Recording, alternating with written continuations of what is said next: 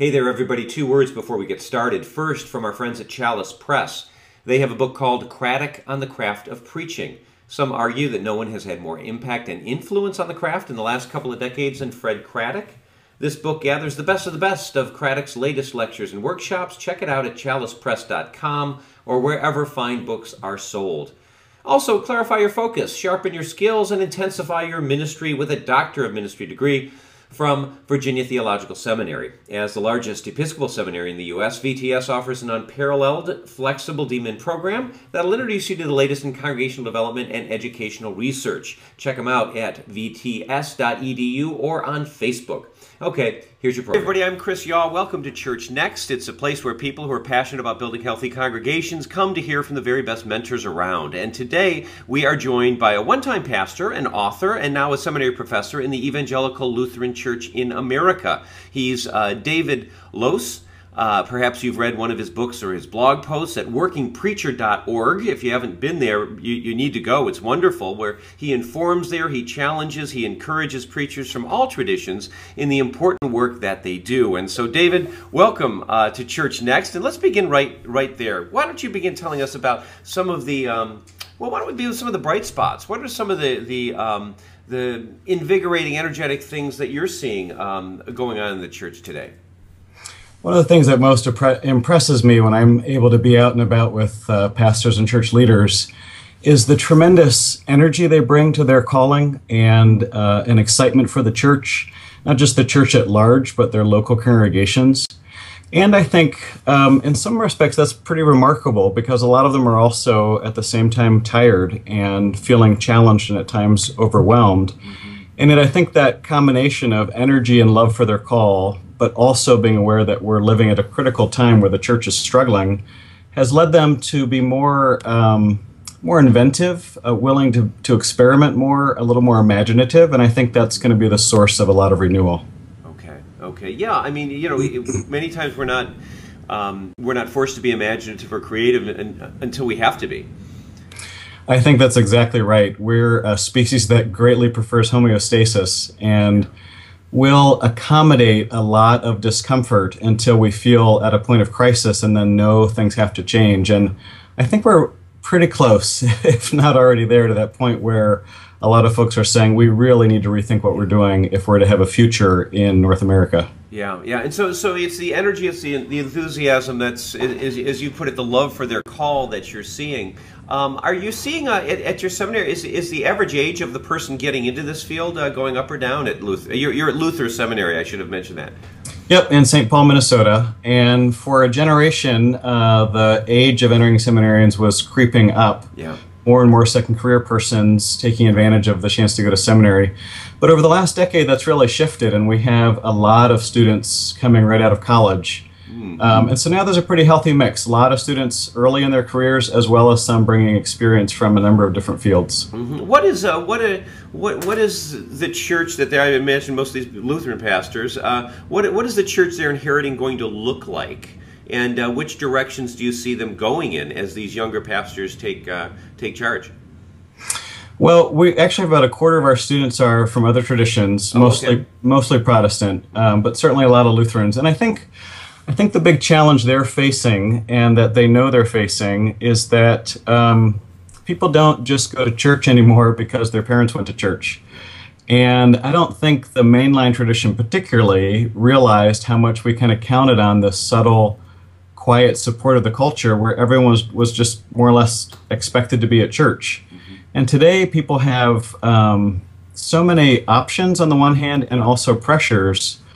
Uh, anything from work that goes 24 7 now to children who are in all kinds of activities that don't take a break on Sunday morning. And people don't just do things because they're supposed to do them. They really look for things that offer them meaning and a sense to make sense of their lives. And so, you know, there's a generation of pastors that I think feels very discouraged um, because they look back at their parents' church or their grandparents' church and it seemed like everything was growing. And they wonder, uh, what have we done wrong? And I think the first thing to say is, it's you haven't done anything wrong. This isn't your fault. The culture has dramatically changed, but we haven't changed with it. And so I think an emerging generation of students knows that. They're not so convinced that the practices we've that have served us so well for a century or more um, are sacrosanct. They're willing to call those into question, and I think that's absolutely critical. Mm-hmm, mm-hmm. And uh, well, I, I want to move now into really where your wheelhouse is, uh, David, and that is in preaching.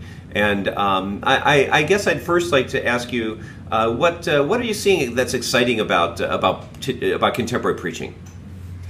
Yeah, I think if you had asked me that uh, even two years ago, I probably would have given a really different answer. Really? Um, yeah, I think in the last year or two, I've been part of a study group um, leading a research grant from the Lilly Endowment on vocation and calling. Mm-hmm. And um, we realized this this peculiar dichotomy between where it's a partnership with four other seminaries, all different traditions. All of our graduates are committed to a theology of vocation, that all of God's people have a calling in daily life. But when you go a little deeper and reach into the congregations our graduates are serving, what you find is very few people believe that what they spend most of their time doing is a calling or worth God's attention or the church's attention. And, uh, and that felt like a dramatic shift. So we spent a year kind of probing the culture and came out with a conviction that people today are um, making meaning and constructing their identities in very different ways. And that the preaching that I have done up to this point, I think, wasn't done with that in mind. And so it's thrown me into what I call a uh, fruitful vocational crisis. it, has been very productive. Um, it's all about my vocation, but it really has been a crisis. I don't think I know, or I don't think I'm nearly as confident of what good preaching is or needs to be today as I was a year or two ago. I have some hunches and have been kind of working out some of those and doing some experimenting. Mm-hmm. But I think, um, you know, I think we're best served now by being willing to listen and explore and experiment and not necessarily assume that what we've always done is what we need to keep doing. Don't get me wrong, it works for a lot of people. Um, but the group for whom it works seems to be decreasing, and the group for whom it's not connecting seems to be growing. Huh. Huh. Well, I, I, really want you to kind of parse that for us here because um, certainly uh, w- when we talk about preaching, I, I, automatically think of in a liturgical context where mm-hmm. uh, people are, are come are, are, coming and ready to hear um, an exposition on on ancient texts that they value highly. Um, and, and, our approach to that, you, you seem to be suggesting, is, is, is, is undergoing some big changes. Yeah, I think the I think the dominant reality that shifted is that a generation ago, um, the Christian story or the biblical stories were part and parcel of everyday life. And uh, people knew them well enough to reference them and make sense of their lives in light of them. And that's just no longer true. It, for a lot of people who, even who go to church and love traditional church and would say their pastor's a good preacher, Sunday may be the only day of the week that they think at all about the biblical stories they've heard. Yeah. Um, it might be the only time they really think deeply about their faith. And in this kind of world where there are so many stories that we're inundated with stories through the internet and television and radio and all of the rest, if the only time these stories are useful to you, the only time you think about your faith and it feels useful to you is Sunday morning, then sooner or later you're gonna you're gonna do some other things with your time. You're gonna want that hour on Sunday to support the other 167 hours of the week. And so I think what we've uh, what we've done is we've fallen into what I would call a performative mode of preaching, hmm. where um, I'm the only one as the preacher. I'm up front doing all the talking. I'm the one interpreting the biblical texts, and I'm the one making connections between faith and life. And that worked when the culture was more or less or even superficially Christian and you were sort of surrounded. It was the water you swam in. Yeah. But today, I think we need our people to, to be able to master those skills themselves. That is, they need to be able to know these stories and interpret these stories. They need to be able to make connections between faith and life. So I think we need to move to a more participatory model of preaching and worship, where on Sunday morning, we don't imagine it as a performance where I'm doing this tremendous exposition of Scripture, but we imagine it as a, as a safe place where people can develop skills that are essential to leading their Christian lives in the world. Um, one of the things I, you know I've discovered, or, or the way I put it, trying to be both a little humorous and, and serious, is that I think the average church leader leads an active fantasy life. and it's a wholesome fantasy. Don't get too concerned. Right, right, right. But it goes like this that people will come to church on Sunday and they will have such an inspired experience because of the worship and hopefully the preaching that they will leave church making all kinds of connections between the faith and their daily life and energized by those connections they'll share their faith with others and over time invite them back to the congregation that's that's been so wonderful um, and i think there's no church leader i know that wouldn't say yeah that's what i work for hope for pray for prepare for and i need to say it's a fantasy because adults like us derive most of our identity from our areas of competence, mm-hmm. from what we're good at. Mm-hmm. And being put in situations where we're not experienced or we don't know what we're doing really raises the anxiety for adult learners. Yeah.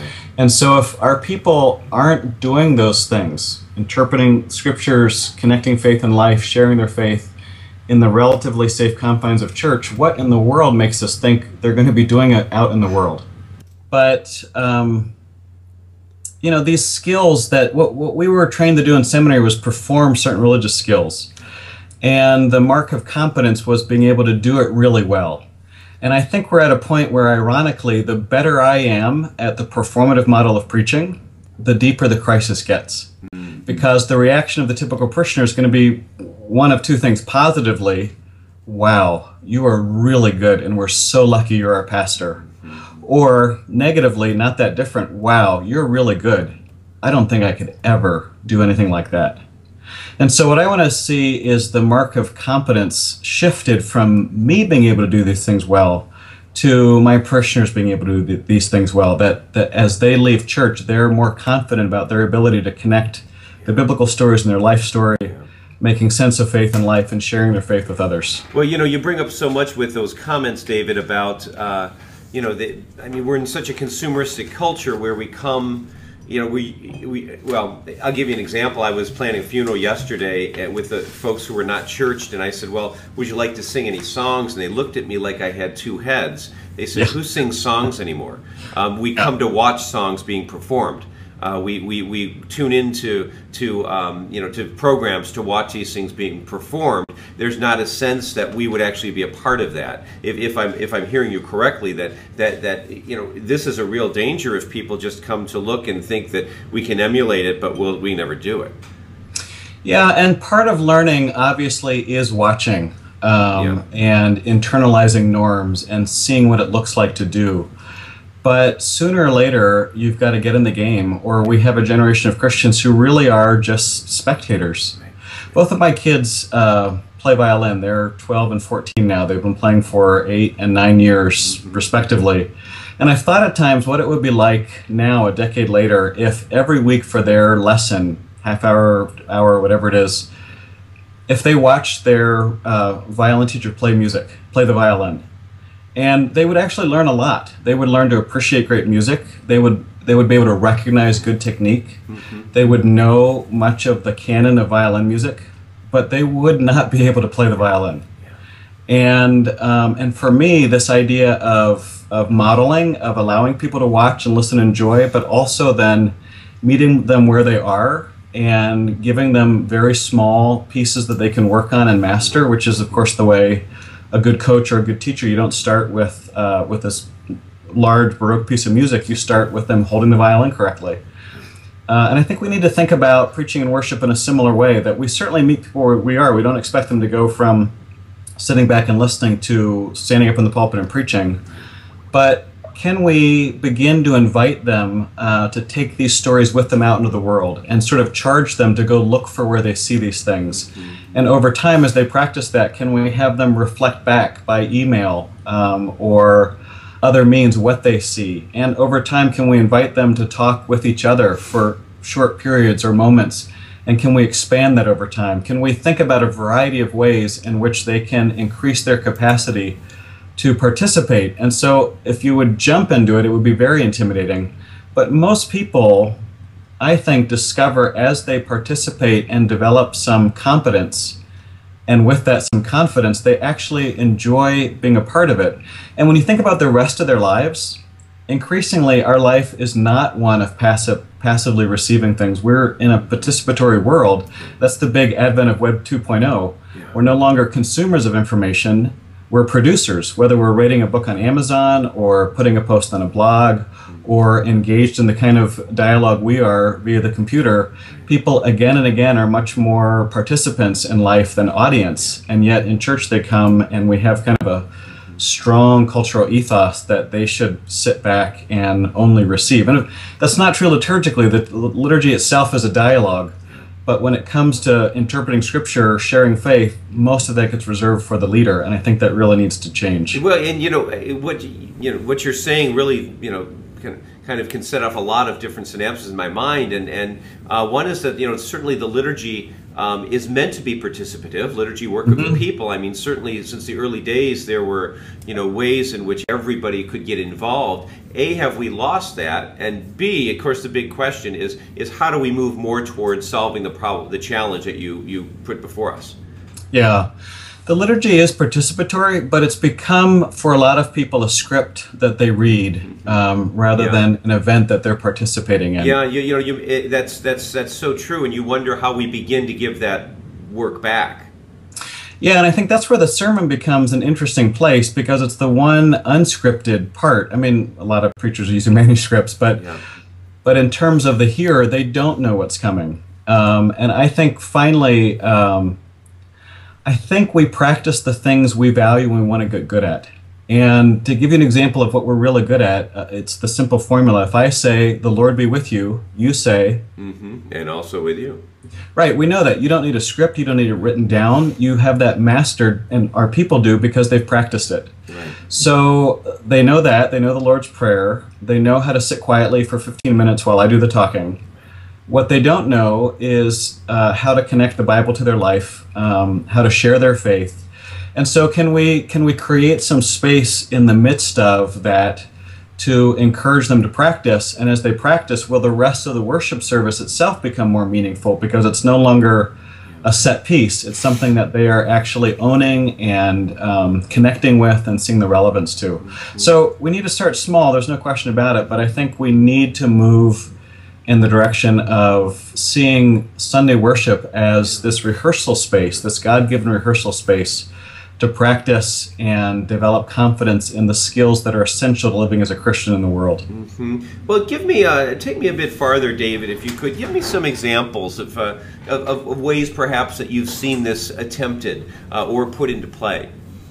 Sure. I write a weekly column uh, for Working Preacher called Dear Working Preacher, and it's yeah. kind of a it's like my sermon for preachers. Yeah, it's um, wonderful. I, I, I, try to read that as often as I can. Thank oh, thanks.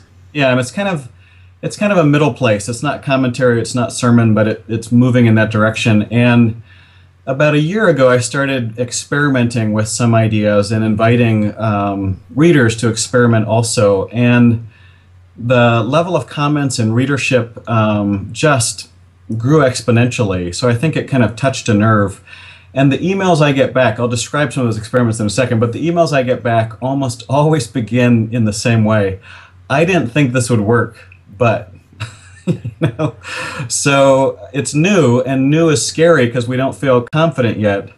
Um, but it's had a lot of great results. So here are some of the here are some of the things we did in uh, one of the Luke parables about money. Um, I said, hey, it's stewardship season. Why don't we preach a sermon about stewardship that doesn't ask anyone for money? In fact, the kind of heart of the parable was about trust. I think it was the farmer who built the large barns. And the exegetical insight was simply his problem isn't that he's planning for the future, it's that he shows no trust in God or no regard for people outside himself. So, guess what? On all of our money, it says, In God we trust. Do you think we mean that? What if we gave everyone a dollar this week instead of asking them for money and sent them out into the world asking that when they spend that dollar and their other dollars, they reflect on whether or not the way they spend reflects trust in God. Um, and people were kind of amazed that people did it, and it kept them thinking about their faith and thinking about their spending. So that was one. Um, in last spring, winter, spring, when we had that long period on the Sermon on the Mount in Matthew, yeah, yeah, in Epiphany, never ending, yeah, yeah, seven weeks. yeah. Um, did a few experiments. One was, uh, you know, the, the amazing thing is all of these, the exegetical insights are not phenomenal. They're really basic. And the experiments are not wildly creative. They're just different. and so um, the week of the Beatitudes, the insight, very simple, was gosh, Jesus blesses all kinds of people that don't normally get blessing. Maybe we ought to do the same and have individual blessing this Sunday. Have people come up and be blessed as they come to communion or the way out of the church or whatever. And the response was phenomenal. Um, one pastor wrote and said, You know, we worship about 400, and after the service, six people wanted to join and two asked to be baptized. Not a nobody had a dry eye. And so we kind of talked about this is so simple. Why is it having such an impact? And we concluded that that blessing is incredibly uncommon in our world. You know, we're good at affirming. My kids have more medals and trophies for participation. you know, like when I was little, you had to win. right, right, right, right, right. You like, there was only one valedictorian. exactly. Now you just show up. Right. So we affirm and we accuse. Right. This is our political environment. Yeah. But we don't bless, and that's a powerful thing for the church to do. And so, how did the church do this practically, David? Um, you know, I made a couple suggestions. They did it in, in different ways. A lot of them, if they did not have communion, at the time they might have had people come up and receive an individual blessing. Others concluded the service with people turning and blessing each other. Okay. Um, and that's been one of the fun things too. People really kind of adopted and run. So another week it was it was uh, Sermon on the Mount also, and it was that line, "Be perfect as your Father in heaven is perfect." Yeah. And I always find that to be an incredibly intimidating passage. right, right, right. Um, and I was reading Eugene Messages, the Peterson, uh, uh, Eugene Peterson's The Message, right. and Eugene translates it as um, "Be the person God intended you to be, just as God is who God is supposed to be." And I thought, wow. And then I thought, better check this. Eugene's a little loose sometimes with right. the Greek. The verb there is telos. That's exactly what it means. Not moral perfection, but reach the end you were intended to do. And so that Sunday, I suggested handing out paper and pencils and having people write one thing in their life that's keeping them from being the person God wants them to be. And then pass it in with the offering or throw it out or have a place to put it. And churches just got very creative. One group had everyone pass it in and they lit them on fire. And people watched what was inhibiting them from being the, the persons God wanted them to be burn up. Another uh, passed out little pieces of water soluble paper and they wrote it down and then on the way out dropped it in the baptismal font and watch it dissolve. Mm-hmm. So, you know, I think this is the thing that it invites it's a it's just a little nudge and then pastors can think about their context and their people and own it and be very creative. And the response across the board from pastors is the thing about the sermon was it wasn't like a great sermon in the way we think of a great performative sermon, but people kept talking about it. They kept thinking about it. And and that's the idea. Not that they even are thinking about the sermon, but they're thinking about that experience and they're thinking about that passage in relation to their life. And I think that's that's the kind of experimenting I'm interested in doing. Um, and, and, you know, I mean, what you're saying, you know, the cynic in me, um, David says, "Oh, that sounds gimmicky." You know, that's exactly what I always think. Yeah. and five years ago, I would have been, I would have totally, you know, bashed my own efforts. Right. and and now I'm thinking, okay, gimmicky is when you're trying to get attention. Well, uh, or you're trying to do a bait and switch. Yeah, right, right. It's something that, that what you're after is kind of a manipulative experience where you've you've you know you've done something for the the sheer experience or the attention. Yeah. Now I call it creative. right? So I've become more generous. right. Um, because the idea in the end, and, and, this is the amazing thing, at the end of a great performative sermon, mm-hmm. people says, wow, what a great preacher. At the end of using one of these gimmicks or little creative exercises, people say, wow, that's interesting. It makes me think about my life differently. Or, so, or, or they say, what a, or they say, what a great God. Or what a great God. Or you have helped me see God in my life better you know and i think that's what it's about when it's done in a sense the preacher ought to be fading into the background and what ought to be left is this person and their god and this world where that they now can imagine themselves seeing and partnering with god in their daily lives. Yeah, no, you're, you're so right, and I mean, I would, I, as a as a regular preacher myself, I, I would not be honest to say that there isn't some ego, um, you know, uh, boosting that goes on in this, and you look forward to being the spotlight, and et cetera, et cetera, to some degree, even the shyest among us, if they're going to be honest. But to really try to, because that's what, hopefully, that's what we try to do as a work of the people, is to put the spotlight on God and, mm-hmm. and realizing that perhaps the sermon um, doesn't always have to be God shining through me, uh, but it, it, it's, it's got to be God shining through whatever. Yeah, I think the dominant model for a lot of clergy in the last generation or two, professional model, has been, or the comparison has been, clergy are like doctors and lawyers. We're, we're the professional guild. And I love doctors and lawyers. This isn't about them at all. Right. but I think you know, you go to a doctor and a lawyer when you're sick or in trouble. And particularly when you know you don't know enough to help yourself, you go to an expert. And I think that today is a devastating model that we become the religious experts or the purveyors of spiritual goods. And so, what I would like us to think about ourselves is more like a coach who can take any five players on the basketball court and make them better, or a conductor who is the only one on stage who's quiet. But if he or she is doing his job, the whole orchestra plays better. Um, or this one was suggested by um, the Episcopal Bishop of the uh, of the diocese in Chicago. He said he likes to think about his role as a, as a priest as like Julia Childs, which I just love, because she really, if you saw the Julie and Julia movie, she worked very hard to learn something that was so mysterious and seemed so difficult. And as soon as she had learned it, she thought, if I can do this, others can. Yeah. And spent kind of the rest of her life in this kind of good spirited mm-hmm. uh, teaching of, of a whole generation of how to cook. Right, right, right. And that's, you still have a very important role.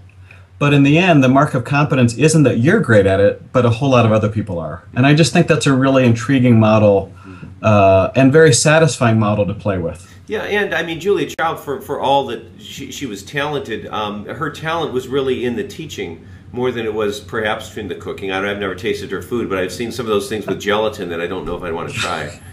well, and she made all kinds of mistakes along the way and was able to laugh about it, yeah. which which does what? It allows the people watching to think, huh, if I make mistakes, it's okay. Right. And uh, if you're going to take risks, you have got to be ready to fail.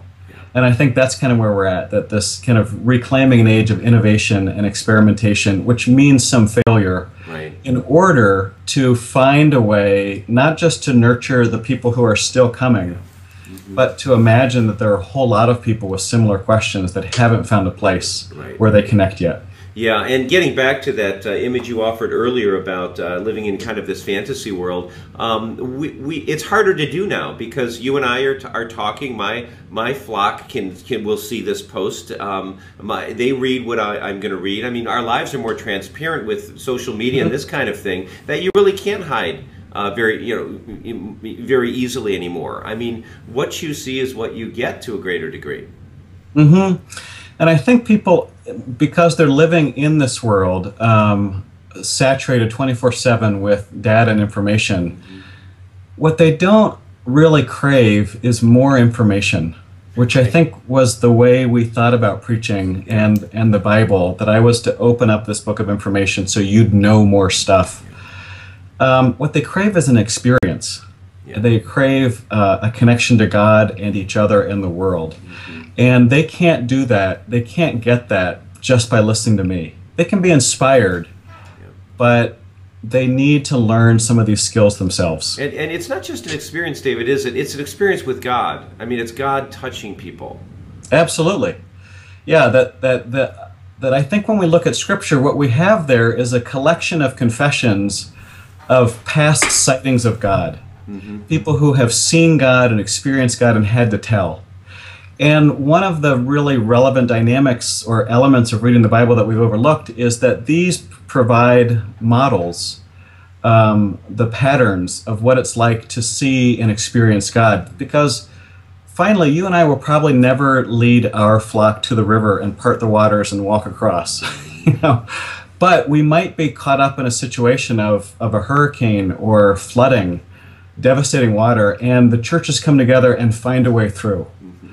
And it's not the same, but knowing the one pattern, the one story, helps you see God in the other. Mm-hmm. And I think, again, that's our task is to open these stories so that people learn how to look for God and partner with God and experience God, not just on Sunday at the God box, but that Sunday prepares them to do that well the whole week long. And if that's the case, then there's a reason to come back to church. Church helps me make sense of my life. Church helps me see and experience God. If church is the only place I, I expect to see God, then it doesn't last, it doesn't hold, and I'm going to find other things that help me more make sense of my life in the world. Mm-hmm, mm-hmm.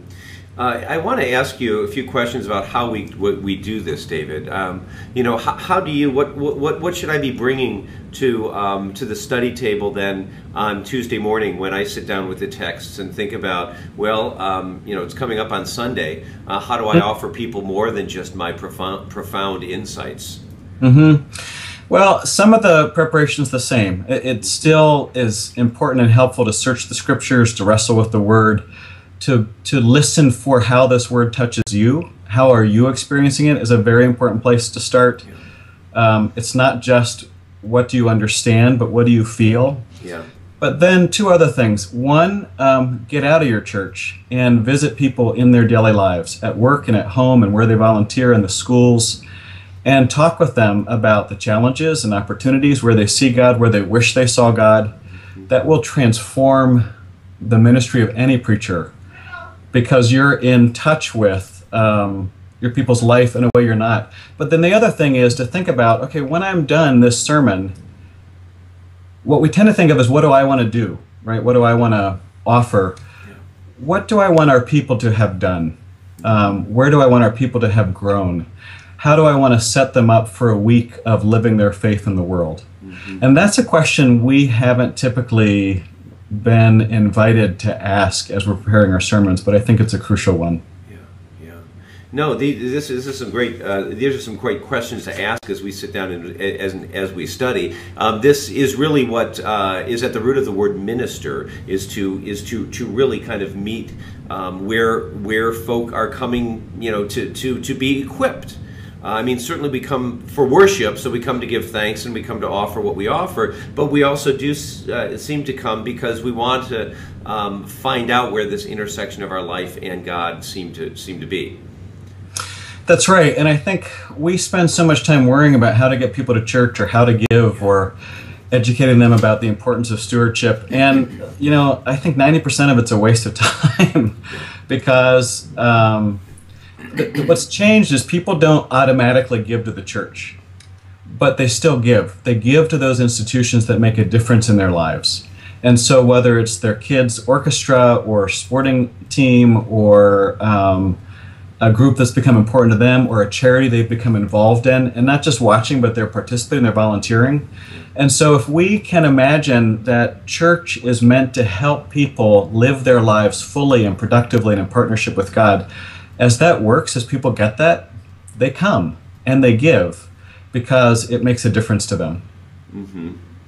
Um, are, are, are you in danger of crossing that kind of line that we all fear, David, about being making churches uh, consumeristic? Well, I think they already are. I mean, you mentioned that earlier. People come and they sit back waiting to see what you're going to do. Um, I'm actually, I want to see them um, more as vocational counseling centers where they come to have their own sense of calling clarified. They come to hear that they are a child of God and to be equipped to live that life in the world. And I think that ends up being far less consumeristic. I mean, this isn't about simply pandering to what people want. This is about thinking deeply about how the gospel can still transform lives. And in the end, finally, if they're participating not just at worship, worship is the practice ground for everyday life, if they leave feeling like their church is equipping them and they come back because they want to join in that work of the people, then I think we've sort of transcended consumerism and entered into fellowship, mm-hmm. uh, which has a profound uh, biblical history as, as finally we are gathered as kindred in the Spirit to encourage and comfort and instruct each other why? So we can go out as the body of Christ into the world. Mm-hmm, mm-hmm. You mentioned a generation ago, David, that you saw the uh, uh, the age of your seminarians at a different place than it is today. Uh, certainly, the age of seminarians has changed, as well as our congregations. Are you uh, suggesting and cultivating uh, different uh, skills that are needed today to build healthy congregations? And if so, what are those? Yeah, absolutely. Um, it used to be that to, to be a pastor at a church was to sort of be at the church. Uh, you would go visit people in the hospital. Uh, that was the major kind of outing you would make, but most of what happened revolved around the church. And um, we need to kind of reverse that flow or that gravitational pull. I always get these confused, but centripetal and centrifugal, you know, one, the force goes inward, the other, it comes outward, is the one when you're on the amusement park ride and it's spinning around, you're up against the wall. you right, right, right. Um, you know, we've had this gravitational pull toward the church, and we need to reverse that to more of ascending outward. Or actually, we need both. We need people to come in order to be equipped to be sent back outward. But the pastor, as leader, has to model that.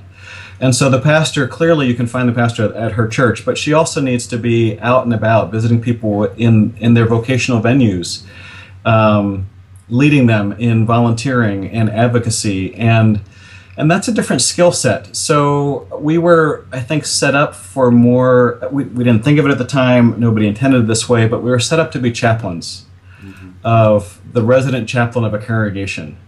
And now we need to be missionaries.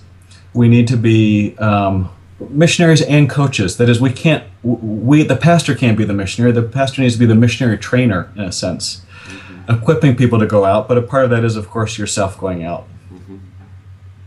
And, and, and it's because we're really uh, in a different era now, aren't we? I mean, you know, the the, um, the Christian faith isn't, um, you know, uh, really uh, bolstered by what we're hearing out in the world. Whereas in previous generations, perhaps when churches were closed on Sunday and when there was a general understanding of prayer being more roundly uh, accepted, if not even um, beyond that in the general culture. Mm-hmm.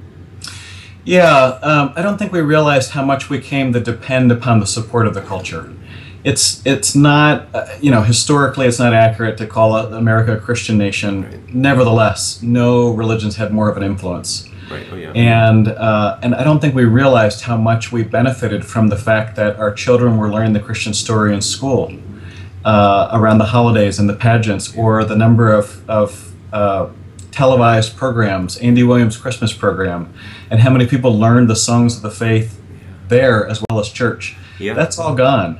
And I say that not to pine for a nostalgic past right. or to stir up culture wars. I don't think the God we know and Jesus on the cross would want us to force our faith on people through the culture. Mm-hmm. But it's simply to recognize the world's changed dramatically. It's it's Christianity is one story among many. And I don't even mean religious stories. There are consumer stories and national stories and all kinds of other stories through which people can make meaning. Mm-hmm. And we need to be advocates for our story. Most people that leave mainline churches, mainline leaders have this sort of sense that people leave a church, it's it's to go to the evangelical church down the street. And it's like, you know what? No. When most the overwhelming percentage of people who leave mainline churches don't go anywhere else. They just don't come back because the faith hasn't been helpful to them in making sense of their lives. And so they give their time, energy, money to the institutions that are helping them. And so I think you know we don't live in the in the age of obligation anymore, where people do things because they should. We live in the age of discretion, where people think I've got like a thousand things coming at me. I need to be discreet. I need to exercise discretion and choose the things that are going to be most meaningful and worthwhile. Mm-hmm. Okay, and um, so so really, what you're suggesting is that the skills of, of today's um, uh, pastors need to be one of, of getting out uh, mm-hmm. you know, meeting people. Um, it, it, it, you seem to describe we also need to be inventive, uh, not afraid to try new things, which is certainly what you're suggesting in your uh, in your sermon uh, preparation. Mm-hmm. Um, uh, but but but go ahead. Well, and I think we really need to think of ourselves as those who are training Christians to live their lives in the world. Mm-hmm. And to be focusing again and again on the what are the skills that we learned in seminary? Um, what are the skills that have helped us make sense of our lives in the faith? How can I teach them, share them, spread them, instead of imagining I'm the one who's to perform them? And, and that above all else, that every element of your leadership in a congregation needs to be focused around when people leave, what will they be able to do better? What will they be able to name or experience more fully? Um, yeah, it's a challenging, challenging task, and, and we're served, you know, we're not served by thinking the problem is we need to do what we've always done better. Mm-hmm. And I think a lot of people are burning out trying to do it better and working inordinate hours trying to make the old pattern work. We need to sort of recognize it's not working, that we need to ask a different question. Mm-hmm. And we may not even know what question to ask yet, mm-hmm. but sometimes it helps to admit what you don't know because then you're open to learning. Mm-hmm. mm-hmm. Okay, um, and so uh, when when you and I kind of survey the landscape, David, of, of, of many churches that are very challenged at this time uh, in, in terms of just just survival, um, your advice seems to be one of, of, of, of thinking of yourself more as an equiper. Yeah, very much so. And every once in a while, I'll, I'll give that pitch, and someone will come up and say, "You mean I'm just a teacher? I'm just a coach?" And I'll say, "Yeah." Have you had a good teacher? Have you had a good coach? Yeah. Do you remember how phenomenally talented they were? How hard they worked? Yeah. What a profound expression of leadership that was. How much they affected your life? How much they affected your life. And then it clicks. Like somehow we've thought, okay, if we're not doctors and lawyers, then we're only teachers. And we don't mean that as a slap to the people who educate our children, you know, but it is. And then when you ask them to reflect back on the very meaningful people in their lives, guess what? It's coaches and teachers. It's not often doctors and lawyers. Right. And when they think about when they get over the kind of cultural stereotype or the concern of about a loss of cultural prestige, which is at a very unconscious level a, a lot of what this is about, then they realize that that's a phenomenal exercise of leadership that touches an incredible amount of people, and then they're halfway there. Okay. So, so David, through your work at workingpreacher.org uh, and, and certainly your other writings and that kind of thing, you you then become the preacher's coach.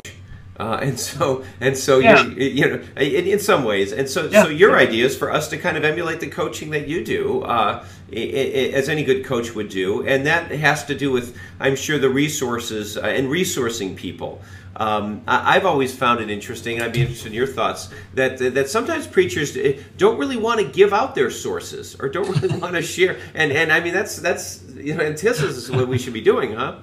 Yeah. yeah.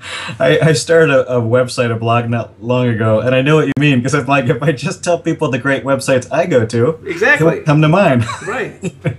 and and I think you know, and then I slap myself. you know, like, get over yourself. Right, right, right. No, I think I think I think that's a natural human fear. Right. But I think what this world rewards now, particularly in when we're in a social media environment and, and unaided by websites and information, I think the world rewards generosity. Yeah. And the more you give away, I think the more people look to you uh, because they receive so much already and they see you as a resource. Uh, and if I have to choose between being seen as an expert and seen as a resource, my more sinful self will choose expert because I, I like that. Mm-hmm. um, but my more Christian self or my more uh, dedicated self, my disciple self, will want to be a resource. And actually, I found that I think in the environment we're in, experts are becoming less and less valuable, and um, trusted resources are going up exponentially in value. And so I think I think there's a lot to be learned by this phenomena in the web, where we ourselves go back to sites that share inordinately with us. And why not adopt a similar model? And this model of generosity and giving away and um, emptying yourself, you know, there's a precedent for that. right, right, right. Yeah, you know, and you, you bring up such. I mean, this point is just you know. It, it is so popular right now with these these arguments between you know San Francisco and, and, and, and Hollywood about giving away information versus charging for it and and uh, look at what YouTube that's free and Wikipedia mm-hmm. that's free and and all of these sites where we can just find these uh, overwhelming uh, you know uh, uh, uh, you know portals and places of, of almost unfathomable information, um, and they find a way to monetize. I mean, they're you know. That's absolutely right. And both those examples are great because they're both free. Yeah. They both have generated enough allegiance that people support them. And both of them invite what? Your participation. Right. Finally, you make YouTube work by putting the, the videos up. And in Wikipedia, to compare that to Encarta, which was Microsoft's computer based encyclopedia, where they had the best designers and researchers and you know, I think what makes Wikipedia work, Encarta's not even around anymore. What makes Wikipedia work is you have thousands upon thousands of people who are invested. They have participated, and you've not only given them something, but you've invited them to give something back to the world. Mm-hmm. And there are few things more motivated, motivating than being allowed to make a part, a contribution that matters. And so, again, a lot to learn from this environment we're in about how to be church in the world. Right, right, right. Well, listen, uh, some great words to leave off on, but uh, David, I always like to make room at the end for uh, any comments or observations you might have. Coming into the interview, you may have thought, well, I want to get across this point or that point. Maybe you started saying something I didn't let you finish. Uh, so I'd like to, to leave it now to you for some uh, some some some wrap up points. Um,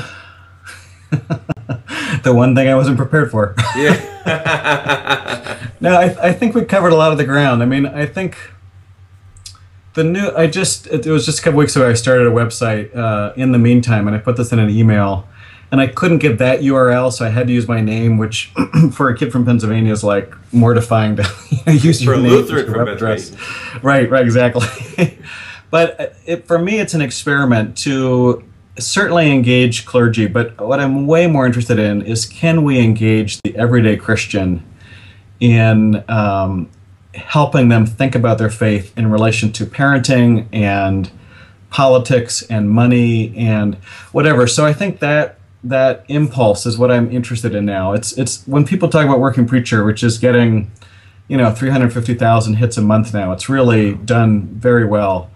I always say, you know what, that was the low hanging fruit. Like I'm just amazed nobody else thought of it earlier, because um, preachers need sermons but our everyday Christian, and I, I'm a little suspicious of layperson now because what it means in the popular imagination is is amateur. You know, um, the everyday Christian doesn't necessarily know they need help in thinking about their faith. They haven't done it for so long, and so I'm just really curious about how we can kindle conversations with our people about how these phenomenal stories um, can shape their story and how what happens on Sunday ought to prepare them to experience God in the world every day.